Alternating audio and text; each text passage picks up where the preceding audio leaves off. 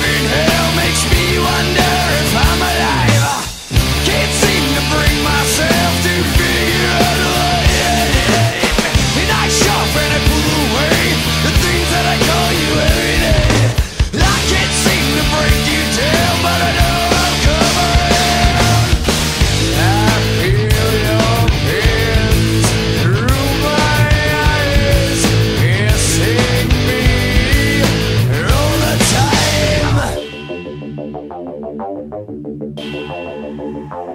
never